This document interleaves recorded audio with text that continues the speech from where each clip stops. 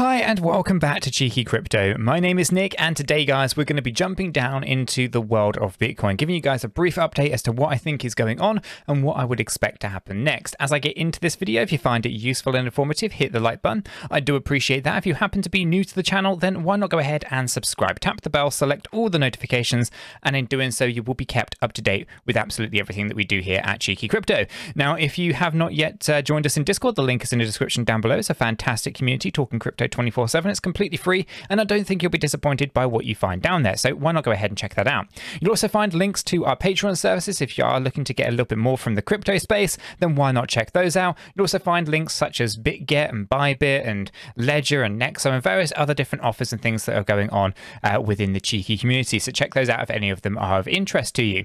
Okay, let's get on into this, right? So uh, Bitcoin paired up with USDT on the hourly chart, Binance is the data source. Now, for the most part, we obviously have have broken down, as we kind of spoke about yesterday, um, with these kind of demand and uh, supply zones, right? So up here we have a supply zone also known as resistance.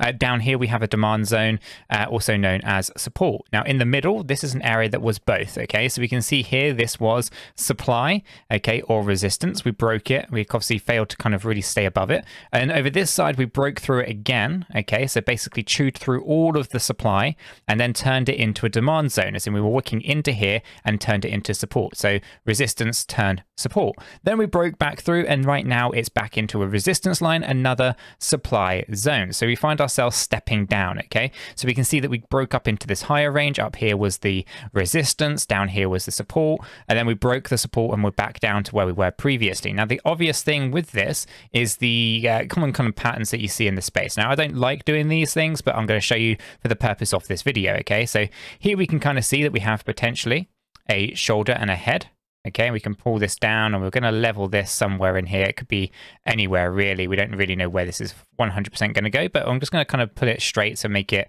uh, look as neat as possible. Okay, and then we'll come up into a shoulder, for example, then come back down and complete it. This would be a head and shoulder pattern. Okay, now it can be wonky, it can go on the side and all those kind of things. The reason I bring this up is we've had three waves come up here and we are potentially going to come down, move up here, and then break back down again and create a head and shoulder pattern. That whole head and shoulder pattern, of course, is simply just three waves going up, three waves coming down, or um, three waves coming up and five waves going down. Okay, so we're not going to really focus in on the pattern so much, but people might speculate that you guys head and shoulder patterns. Essentially, I already know this because we already have the Elliott wave to help us understand what's going on, right? Um, so knowing that, we have these three waves up here. The 21K that we've been talking about previously is still technically in play. This is not a complete uh, disaster to say that's not going to happen. Um, but it is one of those things that we, until proven otherwise, we can't really rule it out. So it's there, um, but we won't really be talking about it in this particular video. Okay, so let's focus in on this recent structure here. Okay, so this kind of moved to the downside. Okay, so as I said, we've kind of gone past this um, previous area of support. It's now resistance. We can see that here. And, you know, the expectations might be to get rejected from this range and move down a tad further, right? So what we're going to do is we're going to walk you through what's going on here. So the first thing we want to do is grab a Fibonacci retracement tool. We're going to take it from this low wick just here and we're going to put it onto this high one just over this side. We're then going to move this over to that green candle wick just there, and then we're going to come down and we can see that we've come down to the 1.618. Now the 1.618 acts as support, but obviously we breached it. This means that this entire structure here is actually tracking in a five-wave fashion. So I'll go ahead and remove the fib, and I'll go ahead and draw these waves on. We come down here with wave one, we come up into wave two, We've come down here into wave three, up into wave four, hitting the resistance. We come down into the final fifth wave. Support is obviously down here, but what we will do is we'll go ahead and do our typical areas that we focus on. Okay, so when we have five wave structures, just make this a little bit bigger. Okay, we look for um, the wave four, and then we say the wave 4 is going to typically retrace between 1.236 and 1.618. Now, the other thing to consider here is that maybe just maybe this wave 4 is not finished, okay? Um, so invalidation of the fifth wave down lower would be set up here at $19,874.81, at least according to Binance and USDT pair.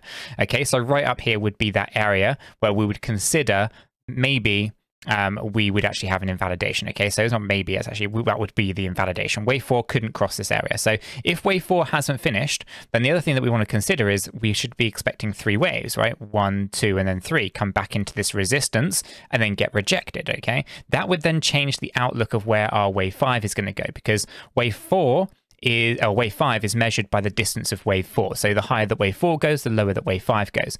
Okay, so I'm going to go through what it looks like at this particular moment in time. However, it's possible that we actually haven't finished this wave 4, and if so, I'll go and show you the second uh, area as well, which first of all what I'll do is I'll just move this fib over to here so we can remember to do that. Okay, so if wave 4 has finished right now, then our expectations are to move down into this little range just here. Okay, this little range basically is between 19,121 and 19,244. That would be this little range just down here as symbolized within our little box. Okay, so I'm trying to get that as close as I can to those numbers and it's not letting me, so it's going to be 45. Okay, so that's going to be right there. Okay, now that would be if the top of this wave 4 is already in. Hypothetically, though, we might not. And if we have got a three wave structure that goes to a one to one ratio, then we might push a little bit higher towards 19,742. And if we do that, then that's going to change our fifth wave expectations to the downside, okay? We already know where the invalidation is, so if we invalidate, we don't have to worry about the downside. But if we don't, then this would be the next range. And the next range actually is something that I think is really interesting. It overlaps obviously with our first range, um, but it comes in right down here at 19,063 and 19,221.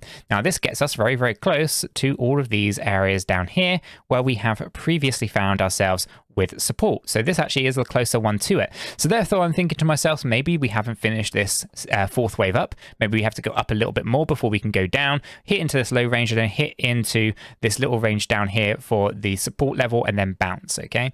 Now, that is just this five wave structure we've ignored one of the key things here, and that is this little drop on this side what's going on here? If this was an ABC structure, then actually there's something else going on. So let's grab another fib and run it onto here as well, right? So it's all great and looking at the here and the now, what's going to happen in the next few hours, but what's going to happen over the next few days? That's going to be another kind of uh, point of view that we should probably acknowledge. And well, we haven't hit the 1.618 yet. Okay, so if we do complete these structures though, and we complete this fifth wave down lower, then we've actually gone ahead and gone past our 1.618. That would allow us to then look at this as a slightly bigger five wave structure going one, two, down here somewhere for three, up for four, down for five, taking us down lower, right? And then of course we would acknowledge that our invalidation, if I actually put it onto the correct wick, would be down here at 19,730. Wave 4 couldn't cross that level there, for example, okay? So there's a few things to be thinking about. Let's go ahead and I'm actually going to just put a little price label right on this one. Um, it's actually at 88 cent as well. So I'm going to go ahead and just put that onto 88 cents. So it's exactly uh, on the fib number as I have drawn it. So I'll go ahead and delete it. Right. So that there would be our trigger point. Uh, I'll remove this one off of here as well. And I'll remove this one off of there. So we kind of get an idea that, you know, Bitcoin itself is going to be volatile over the weekend. If anything, we have a potential push to the upside here just to finish that off. That would then give us a nice low fifth wave point, which will then allow us to rally up into a fourth wave before dropping down into a final fifth wave and then once all of that is done, just to kind of add fuel to the fire, what happens when you complete five waves is you go up in three. Okay, and then of course from there you might then start to expect another five waves down and so forth. We'll talk about that later stages though. Um, so essentially, you know, this isn't like the, the end of crypto, Bitcoin's going down massively, etc. But this five wave structure all of a sudden starts to maybe think about maybe we are going to have ourselves this pull to the downside, go up in a three wave fashion, just up here, um, probably up a little bit higher. Let's just make this really neat. Okay, um, right up here, that's our three waves. And then, we, of course, we'd potentially have that five wave drop, right? We'll draw that in and we do something like this, right? Now, going back to the beginning of this video when we had our head and shoulder pattern, let's go ahead and talk about what this might look like. We have our shoulder here, we have our head up here. Oh, I did that far too fast. um, hypothetically, this here could be our uh, end point of our, um, our head and the beginning of our shoulder going up and then coming back down to the neckline. Okay, and you can all of a sudden start to see that maybe you know that's not going to be maybe that low. Maybe I'll pull it up to mean more level here, for example, and you kind of get the idea that actually three waves up completes our right shoulder, five waves down, breaches the neckline, retests the neckline in a wave four, drop down afterwards, right? Anyone who's familiar with head and shoulder patterns will know exactly what I'm talking about there. If you're not, um, then join us in Discord. I'm sure we've got some material on it. Um, but essentially, what it's done here is I've drawn out Elliott wave theory based on structures and what happens when these structures appear, and actually it ties into the pattern traders, which obviously is your head and shoulder pattern. So going to speculate too much on it, but that's kind of what my expectations are on BTC. Now, of course, we want to go ahead and see if any of this actually makes sense with some indicators, right? So obviously just done price action analysis here. Let's go ahead and actually take a look at the stochastic RSI. Now, the stochastic RSI is quite high. It's uh, overbought on our one hour chart. Okay, so this means that we are running out of momentum. An upward move here for this wave four looking less and less likely. More likely that we actually have this move to the downside a little bit sooner, but anything is possible, right? So we can be up here for quite some time. We can rally up. It's just an indication that there's momentum behind the, uh, the price, which is starting to deviate away. Now, here's the obvious, right? Um, let's just zoom in on this right away. Okay, so here on this hourly chart, what do we see? Well, we see the price going up right in here. Okay, and we can see that the stochastic RSI is going down over here. Okay, this is a divergence. This basically means that we're running out of momentum to the upside and we should actually start to expect a reversal. Now that reversal can come way up here in this C wave, doesn't have to be right now, but just know that there is a divergence occurring. So this is running out of steam. This is why we're seeing this resistance line appear right in here as well. Okay, so if we're going to push up anyway, it's not going to be massive and we will start to see a bit of a push to the downside. You're talking 1% if we are to hit that C wave after all. Okay. Um, so on our hourly stochastic, that's basically saying that we have to have this fifth wave come down. But what about the large time frames? Well, they're actually okay. They're indicating that this fourth wave is something that we should be expecting. We should start to see a bit of a push to the upside when we come back down to the resistance. The eight hourly chart's also coming down here. Not too concerned over that. The daily obviously needs a deeper correction. So ultimately, we'll be looking at pulling back down into this area before rallying into three waves. That again allow us to then pull back down later.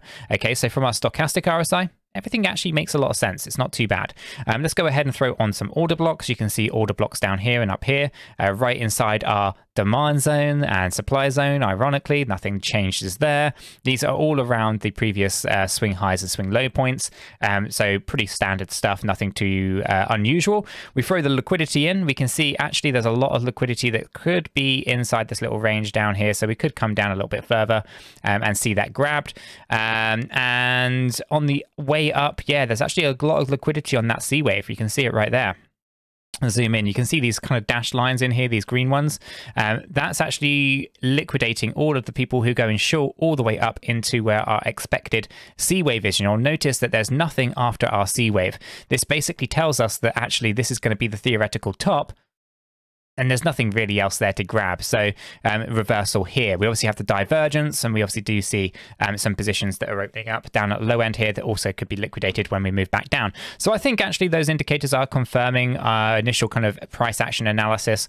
Um, so for the most part, that's my, those are my expectations. Um, I'll leave the video there. If you have found it useful and informative, hit the like button. I do appreciate that. If you happen to be new to the channel, then why not go ahead and subscribe? Tap the bell, select all the notifications, and in doing so, you will be kept up to date with absolutely everything that we do here at Cheeky Crypto. With all that said, done and out of the way, hope everyone has a fantastic day, and I'll catch you all in the next one.